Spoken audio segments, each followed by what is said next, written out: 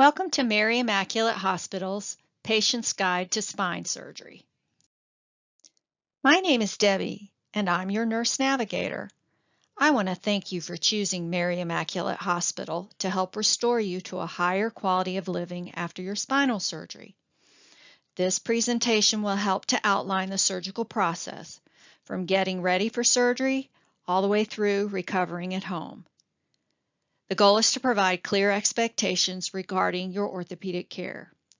You play a key role in ensuring a successful recovery. Our goal is to involve you in your treatment through each step of the process. Your education and compliance will help to ensure a safe and successful surgical outcome. Please feel free to contact me by email or call my office before or after surgery if you have any questions. I've listed my email and my office number here. Education book. All the information presented in this seminar can be found in the Patient's Guide to Spine Surgery. You should have gotten a copy of this book from your surgeon's office when you scheduled spine surgery. If you did not get a copy of this book, once you're finished watching this seminar and it closes out, please look right below where you access the seminar and there will be a place where you can click and download a copy of the book or you can call your surgeon's office and have them mail you a copy of the book. Please read through the book once you're done watching the seminar as there's more information presented in this book than in the seminar. Fill out the survey. When you have completed this seminar, please fill out the survey located on the preoperative education page above this seminar. Once you fill out the survey, a copy of the survey will be emailed to me so that I can let your surgeon know you watched the seminar. If you have any questions, please ask them in the survey. I will send you an email or call you if you don't have email to answer these questions. About your surgery. You'll find general information about spine surgery in the education book. Please speak with your surgeon for more detailed information about your specific surgery. Bon Secours MyChart. Please set up your MyChart account now. You can access all your appointment times, test results, surgery notes, and financial information through the Bon Secours MyChart. To get help setting up your MyChart account if you haven't activated, please call 1-866 385 7060. Pre-anesthesia testing. Once you and your orthopedic surgeon have agreed that surgery is the best option for you, your surgeon's office will send information to our pre-anesthesia testing department regarding your surgical procedure. From here, you will be scheduled for a pre-operative nursing interview. You will receive a phone call from our pre-anesthesia testing staff before your surgery to schedule your nursing interview. During this important nursing interview, you will be asked to share your medical history, surgical history, allergies, including both foods and medications, and your daily medications, including vitamins, herbal supplements, and anything over the counter. That would include topical medications also.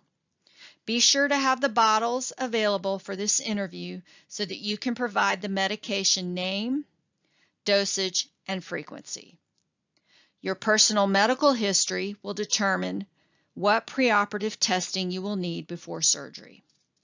While your nursing interview must be scheduled, your medical tests can be completed without an appointment. Please complete these within 30 days of surgery. Common tests include lab work, which is non-fasting, meaning you can eat and drink prior to the lab draw, an EKG, a potential chest x-ray, and or a urinalysis. The results of your testing will be sent to your surgeon and you will be contacted if the test results are abnormal. It is also best to undergo a complete physical examination with your family physician within 30 days of surgery. Your surgeon will let you know if this is a requirement.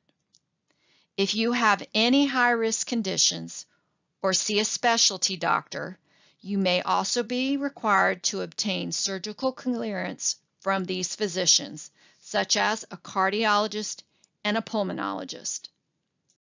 During your scheduled nursing interview, you will be instructed on which medications to stop taking, when to stop taking them, and which medications you should continue to take based on your surgeon and anesthesia guidelines. Please make sure you have a piece of paper and a pencil handy during this interview so that you can write down the medications and the instructions that the nurse gives you. You can find examples of some of these medications listed in your education book. Herbal supplements, vitamins, and over-the-counter medications need to be stopped 14 days before surgery. This includes oral and topical medications. Non-steroidal anti-inflammatories, also known as NSAIDs, are generally requested to be stopped seven days before surgery due to the increased risk of bleeding Anticoagulants or blood thinning medications are also generally requested to be stopped in the weeks leading up to your surgery. Check with your surgeon and prescribing physician regarding when to stop these medications. Please be aware if you do not stop them, your surgery may be postponed. Diabetic medication. Please talk to your prescribing physician about how to manage your diabetic medication before surgery. Often you will be told to either take half or less of the medication or to stop the medication the night before or the morning of surgery. Your daily routine medications. Again, the PAT nurse will review these medications with you and let you know which ones to stop, when to stop them, and which medications you need to keep taking. Again, please write this information down as it's easy to forget as you wait for surgery. Pain medication. You may continue to take the following pain medication as prescribed to manage your pain as you wait for surgery. However, we recommend you try to cut back on the amount and frequency you take the narcotic so that the narcotic pain medication prescribed to you after surgery will work better. If you see a pain management doctor, please make sure you inform them you are having surgery. If you have any questions about medications before surgery, please call our pre-anesthesia testing nurses at 757 886 6411 or 6300. Get ready for surgery. Start by picking a coach today. What is a coach? A coach is a friend or family member, but should be someone who is willing to help you stay on track as you get ready and recover from surgery. You want this person to be somebody who will cheer you on and encourage you as you recover. Have your coach watch this seminar and read through the education book so they know how to help you stay on track and recover from surgery. Stop smoking. Smoking increases your risk of lung complications during and after surgery. Did you know it also decreases your body's ability to heal itself? And it increases the risk of an infection in your new surgical site. If you aren't ready to stop smoking yet, try to cut back a few weeks before surgery and don't smoke the day before or the morning of surgery. If you would like help to quit smoking, please talk to your primary care provider. Stop alcohol intake, or at least limit your alcohol intake two weeks before surgery to less than one drink a day. After surgery, check with your doctor before resuming alcohol intake. However, if you take narcotic pain medication, muscle relaxers, or anti-anxiety medication, you should not be drinking any alcohol at all. Eat healthy. Eating healthy is an important part to promote healing in your body. Maintaining a healthy diet gives you energy to do the things you need to do. It decreases the risk of an infection. It promotes healing. For diabetics, it helps you to maintain a normal blood sugar. It also helps to prevent heart disease and high blood pressure. we recommend you prepare and freeze or purchase small portioned healthy meals for times you may be alone. It's normal not to be hungry after surgery. However, it's still important that you eat small meals frequently throughout the day. If you find you're not as hungry and you're not interested in the foods you have available, we recommend you have some protein supplements available to supplement in for times when you're not as hungry. You can get protein bars, protein powders, or pre-made protein drinks such as Ensure, Boost, and Premium Premier. Keep moving. Do your best to stay as active as possible as you wait for surgery. The more active you are coming into surgery, the better your muscles will be and the easier your recovery will be. If you can't get up and move around, we recommend that you use your front-wheeled walker starting now so that you can stay as active as possible. Set up your home for safety. Remove tripping hazards such as throw rugs and long cords. Arrange furniture so that you can easily move about your house with your front-wheeled walker. Put night lights in dark areas such as hallways and bathrooms so you don't trip and fall. Put all the items you use on a daily basis in your bathroom and in your kitchen so that you don't have to bend down or reach up, as that makes it easier for you to fall after surgery. If you have handrails, please check them and make sure they're secure. If you don't have handrails and you have time, please have handrails installed as this will make it easier for you to get up and down steps. Get these things before surgery. We recommend you get an over-the-counter stool softener, mild laxative, and that you have some Tylenol, also known as acetaminophen, at the house. You need to have some flat gel pack ice that you can freeze with a holder so that you can rotate ice to help with your recovery. You will need a front-wheeled walker if you are having back surgery, and you may need one if you're having neck surgery, depending if you feel unsteady on your feet. We recommend if you have a low profile toilet and you're already having trouble getting on and off your toilet, that you go ahead and get a 3-in-1 bedside commode. Please know that Mary Immaculate does not provide this medical equipment, so you'll need to call your surgeon's office so that you can get this equipment before you come for surgery. Back brace. Some surgeons require their back patients to purchase a back brace before surgery. Please check with your surgeon if you're not sure to see if you need to have a back brace before you have your surgery. You will bring your back brace with you to the hospital if your surgeon has asked you to get one. After spine surgery. Going home after spine surgery. Please speak with your surgeon before you come for surgery so you know if the plan is for you to discharge home the day of surgery or spend the night in the hospital at Mary Immaculate. If the plan is for you to discharge home the day of surgery, please make sure that you have someone arranged to stay with you the first 24 hours because of the effects of anesthesia. It's also a good idea to go ahead and make sure you have friends and family arranged to assist you at the house the first couple of days after surgery till you feel safe moving around. If you're spending the night at Mary Immaculate Hospital, please let your family know that they can come and see you after surgery during visiting hours. However, when visiting hours are over, then we do not allow family or friends to spend the night with you. Things to bring with you to the hospital the day of surgery. Again, please bring your back brace if your surgeon has asked you to get one. It's important that you have your back brace with you after surgery as you'll need to wear it in order to get up and down and walk. Please bring your CPAP machine, your glasses and denture case, and your cell phone. When it's time for surgery, we ask that you give your glasses and dentures and your cell phone to your family for safekeeping. Cleaning your skin three nights before surgery. You should get your CHG bathing solution from our registration department when you come for your pre-op testing.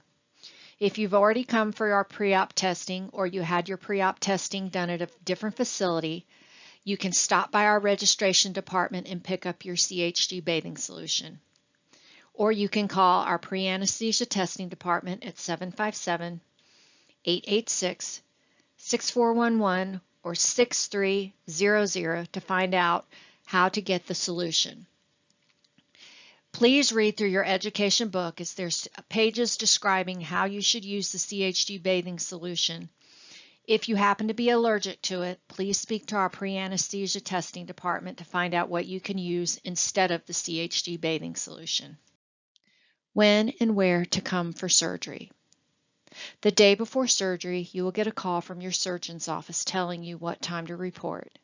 Some patients have reported getting automated messages or somebody else calling them and telling them a different time than what their surgeon's office told them. Please disregard those messages and only come at the time your surgeon's office tells you to report. If your surgery is on Monday, you will get a call Friday afternoon. You will check into the surgical pavilion, which is located next to our emergency room department. Day of surgery. Please check in for surgery at the time your in surgeon's office instructs you to do so. The pre-op area is where you'll get ready for surgery. You'll take off your clothes, including your underwear. You'll wipe off with some CHG antiseptic wipes. Put on your hospital gown and some non-skid socks. Have your nostrils swabbed with an antiseptic. Have an IV started, IV fluid started, and you'll be given any medications your surgeon would like you to take before surgery. Once you're ready, one family member will be allowed to come and wait with you in the pre-op area until it's time to go to the holding area. In the holding area, you'll meet your anesthesia team. Your anesthesiologist will review your history, including your medications, talk with you about the anesthesia plan for the day, answer your questions, and then have you sign your anesthesia consent. Once it's time for surgery, you'll be taken back to the OR. The length of your surgery is different for every person, so please have that conversation with your surgeon in, before you come so that you know how long your surgery is going to take. Once your surgery is over with, you'll be taken to the PACU, also known as the recovery room, to wake up from surgery. There, they'll control your nausea and your pain. Once you're controlled with nausea and pain and the anesthesiologist says you're safe, then you'll be transferred. If you're going home the day of surgery, then you'll be sent to the phase two discharge unit where you will be allowed to have one family member or friend come and sit with you as you continue to wake up and recover. You'll need to urinate, get up and walk, and eat a snack. Please make sure that your family brings your back brace with them so we can get you up and get you moving.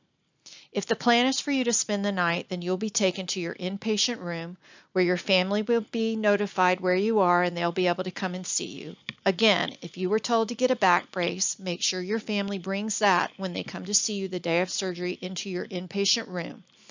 We are not able to get you up without that back brace on. Our goal is to get you up and walking as soon as possible after surgery. The sooner you move, the better you're going to feel. You'll be given some food, get up and sit. And once it's time for visiting hours to be over with, your family and friends will be asked to leave, and the nursing team will continue to care for you during the night. In the morning, you'll be up in the chair for breakfast, and then our therapy team will come and work with you. They will walk with you and show you how to safely take the steps. And then, once you clear therapy, your nurse will go over the discharge instructions and we will get you home with your family. Make sure that you know that we our goal is to get you home by lunchtime. Remember, the more prepared you are, the better your recovery will go. So make sure you set up your home, get your medical equipment ahead of time, and arrange for someone to stay with you for the first couple of days after surgery. If you don't have any family, please reach out to friends and make arrangements for them to assist you. I know it's hard to ask for help, but your friends, I'm sure, are willing to help you. If you don't have anyone that's willing to help you and you have no one that's going to be with you at your house when you go home, then please have this conversation with your surgeon before you come for surgery so they can start to anticipate your needs upon discharge from the hospital. What to expect after surgery. Pain. Please don't expect to be pain free. Our goal is that you have pain tolerance. Pain tolerance means you will have pain, but you can do the things you need to do in order to recover. We will discuss how to manage pain in a future slide. For back pain, you will wake up with soreness, tightness, stiffness. People often describe it as feeling like they got kicked in the back by a horse or got beat up in the back with a baseball bat. Neck pain. You'll have a sore throat. You might feel like you have a lump in your throat when you swallow. Many people complain of neck muscle tightness and soreness, and even tightness and soreness down the middle of their back. Support stockings. These are the white hose put on to help promote circulation and prevent swelling. There's instructions on how to manage those in the book. You'll wear them until your surgeon tells you you don't need them anymore. Incentive spirometer or the breathing machine. You will need to do the breathing exercises 10 times an hour to help prevent pneumonia and fever. If you're having neck surgery, please be aware that this is very important for you to do as you will be at higher risk for getting pneumonia because when your throat hurts, you don't tend to take deep enough breaths. Occupational therapy. They will help you with the activities of daily living, bathing, dressing, and toileting. If they feel you need any extra equipment to help you do this, they'll provide it for you while you're here at the hospital physical therapy. They'll make sure you know how to safely walk, take the steps, wear your back brace, and they may show you some exercises to do at home as you recover. Drains. It's normal to have a drain when you wake up from spine surgery. The drain is used to prevent the accumulation of fluid around your surgical site. The drain will be secured by tape to your body and then it will be attached to your clothing or if you are having neck surgery, the drain will be attached to the neck brace. Our nursing staff will empty it. If you're going home the day of surgery, your nursing staff will show you how to empty the drain. In the education book, there is information on how to manage a drain. The day after you get home, your surgeon will either have you come back to the office to have the drain removed or they'll send a home health nurse out to remove your drain. If you spend the night with us in the hospital, we will continue to manage your drain for you. The morning after surgery, your surgeon will come around and determine if it's safe to pull the drain or not. If the drain is to come out before you go home, our nursing staff will pull the drain out and put a new dressing on your surgical site. If for some reason you're discharged home the day after surgery and you have to keep the drain in place, then the same thing applies. Your surgeon's office will arrange for you to either come to the office the day after you get home or have a nurse come out to your house and remove the drain for you. Again, in the education book, there's information on how to manage and care for your drain. Be safe after back surgery. Moving. Be careful to not bend, twist, or lift anything greater than a half a gallon of milk at your waist. Also for sleeping, we recommend you sleep on your side with pillows between your knees or on your back. You are not allowed to sleep on your stomach. Be safe after neck surgery, moving and sleeping. With your head, do slow and gentle up and down motions, slow and gentle yes and no or side to side motion. When you sleep, the first few days you want to sleep with your head elevated above your heart in order to make sure that you, the swelling does not accumulate around your neck. Sleeping with your head elevated helps the fluid that could accumulate around your neck to drain downward. Sleep in a recliner as it's easier to get in and out of the recliner and you'll be more comfortable if you're wearing a neck brace. Safe swallowing after surgery. Swallow every 10 minutes in order to promote circulation to your throat which promotes healing. We recommend you drink cold liquids as this helps to decrease swelling in your throat. It's normal to have a sore throat. You may use an over-the-counter sore throat spray such as Cepacol. In order to minimize movement of your head, we encourage you to drink liquids through a straw. When you're eating, please take small bites and chew the food thoroughly. Swallow once and then swallow again without anything in your throat and then take a sip of liquid and swallow to make sure you clear everything in your throat. If you start to have some trouble swallowing your saliva, please give your surgeon's office a call.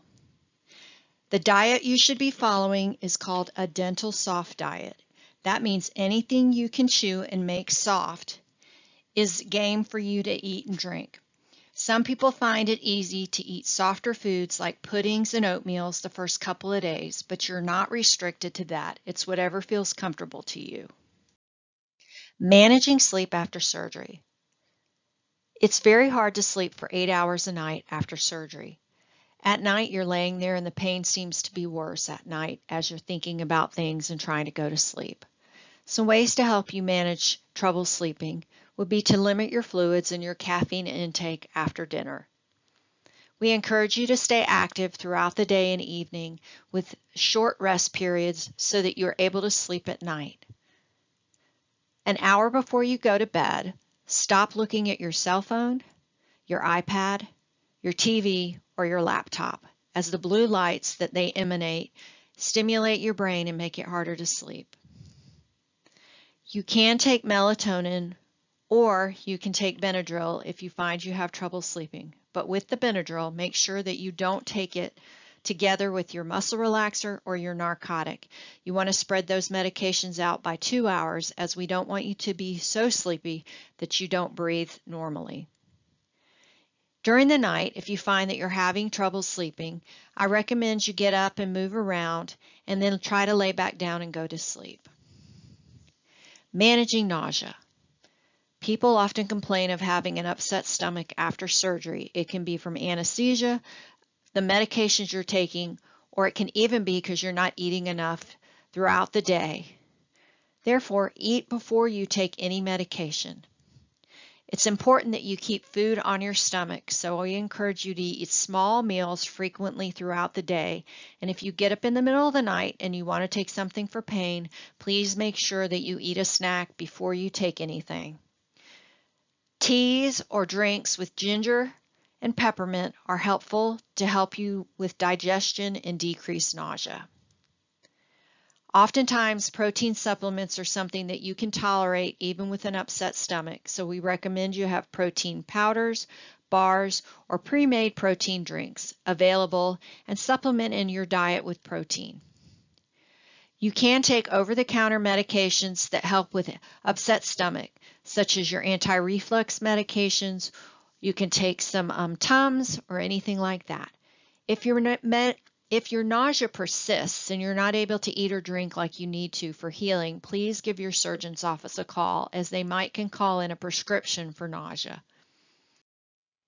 Managing pain. Again, we expect that you'll have pain after surgery. The goal is for you to have pain tolerance. Some ways to help you manage the pain are deep breathing.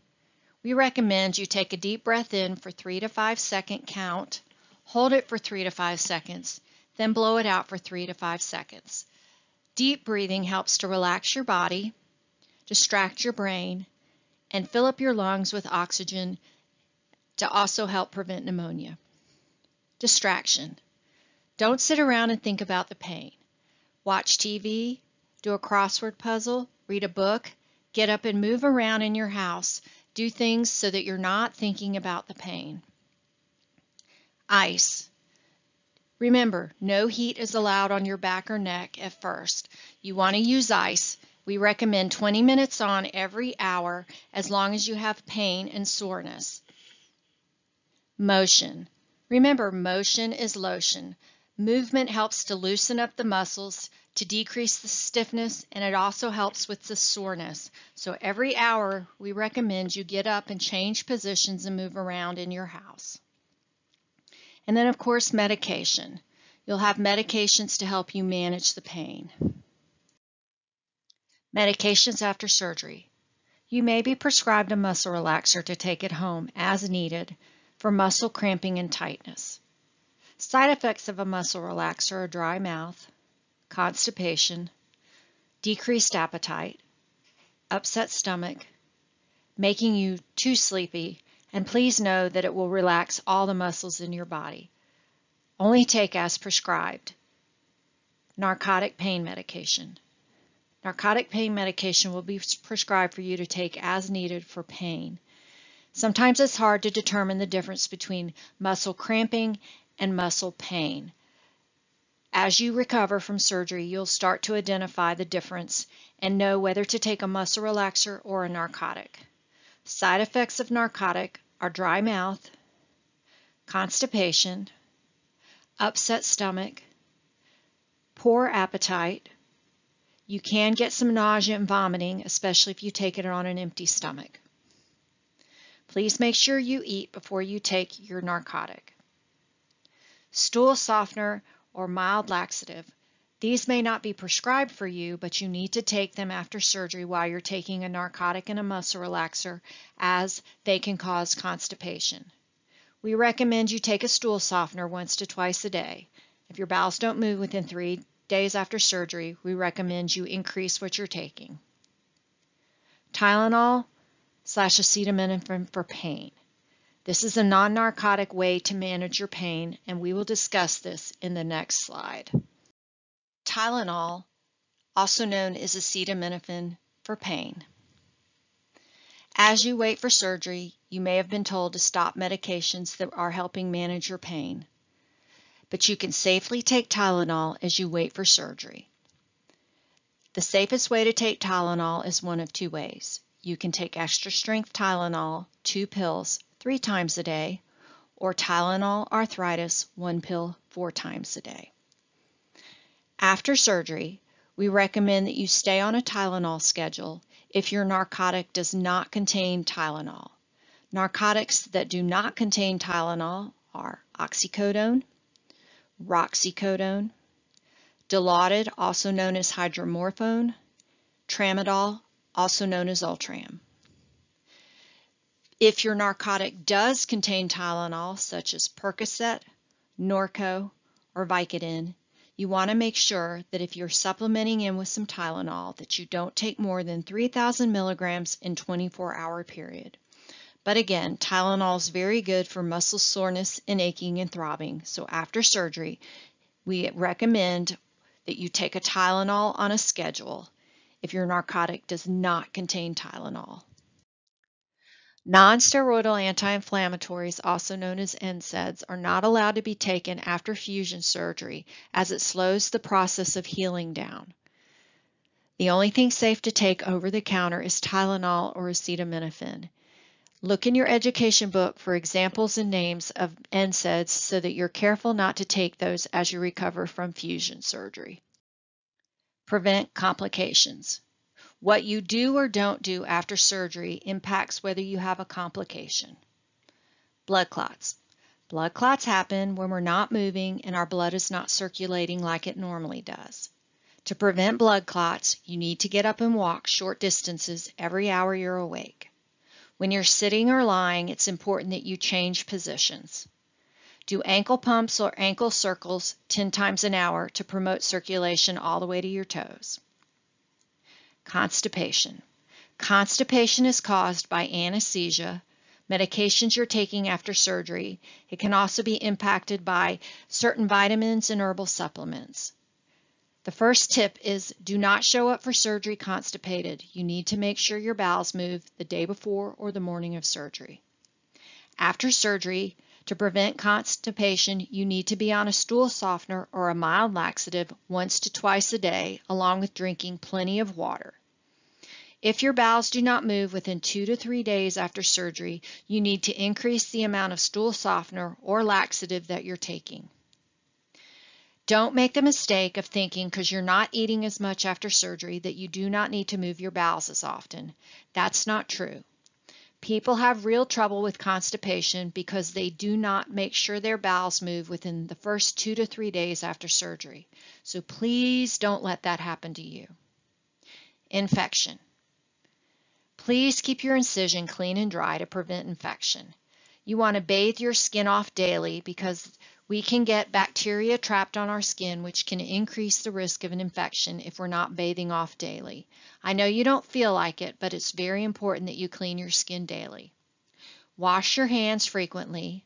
Again, as we've already talked about, to prevent infection, you need to be eating healthy, and if you're a diabetic, it's critical that you maintain a healthy blood sugar to decrease the chance of an infection. If you smoke, again, refrain from smoking as you're recovering from surgery because it does increase the risk of an infection. Pneumonia. Pneumonia happens because we're not up moving around, breaking up stuff that settles in our lungs, leading to pneumonia. To prevent pneumonia, you need to use your incentive spirometer 10 times an hour while you're awake. If you don't have an incentive spirometer, don't panic. You can take a deep breath in, hold it, and cough, and then breathe out 10 times an hour. If you've had neck surgery, it is critical that you pay attention to taking deep breaths and coughing as you are at higher risk for getting pneumonia because you don't like to take deep breaths because your throat hurts after surgery. But the most important thing you can do after surgery to prevent complications is to get up and move, move, move. Remember, motion is lotion. Home health care. Our goal is for you to recover at home, continuing your physical therapy and any other related care in familiar surroundings. Home health services, which may include a physical therapist and a nurse, is ordered by your surgeon before surgery if they think you'll need this. If your surgeon is planning for you to go home the day of surgery, your surgeon's office will have arranged this care before surgery. If your surgeon is planning for you to spend one night in the hospital, our care manager will visit with you to make sure your home health is arranged. Again, thank you for trusting Mary Immaculate for your spine surgery care. We look forward to meeting you and helping you on your road to recovery. Please don't forget, once you close out this seminar, to go back to the top of the education page and fill out the survey. If you have any questions, please make sure to ask them in the survey. Also make sure you provide me with your email address and a phone or a phone number so that I can reach out to you. Thank you.